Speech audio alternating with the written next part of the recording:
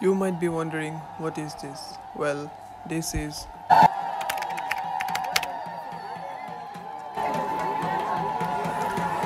I'm sure you have not seen anything like this, at least in Assam, where people hang themselves with iron hooks in their backs.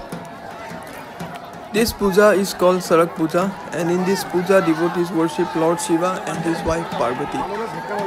As not much is known about this puja, as it is not well renowned in Assam, it is only celebrated in some parts of Assam like Goalpara district and Dhubri districts and surrounding areas of Dhubri.